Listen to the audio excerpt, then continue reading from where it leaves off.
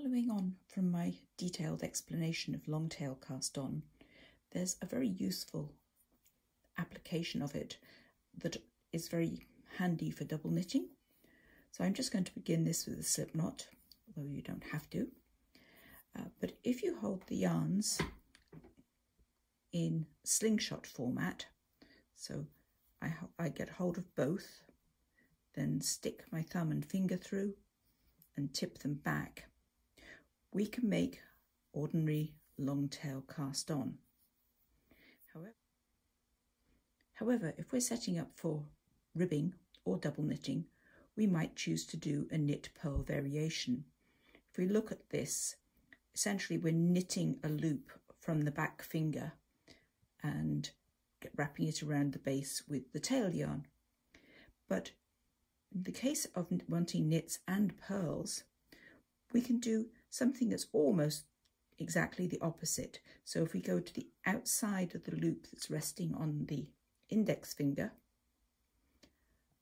purl the yarn or throw the yarn around the needle as if to purl and take it away from you. So that becomes effectively a, a basis for a purl stitch. If you alternate between the two, you can make a knit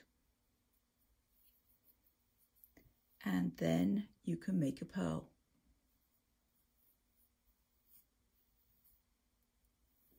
Set yourself up to do a knit one and then say, okay, I've got to go outside of the loop, up from underneath, rotate the yarn the ordinary way around the needle and purl that stitch away from me.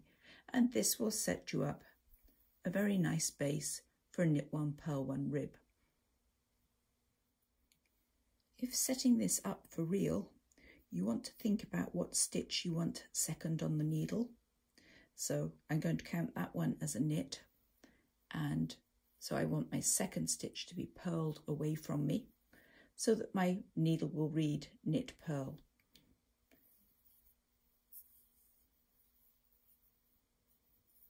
I'll complete a few more of these and then we'll look at what the first row looks like.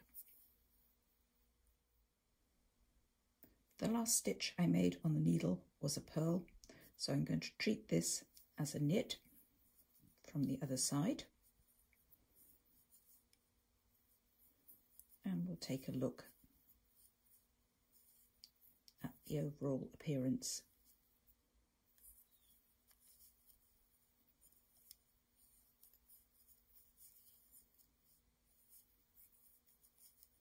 In double knitting, you could work the knits in one colour, the purls in the other, and have yourself set up quite nicely.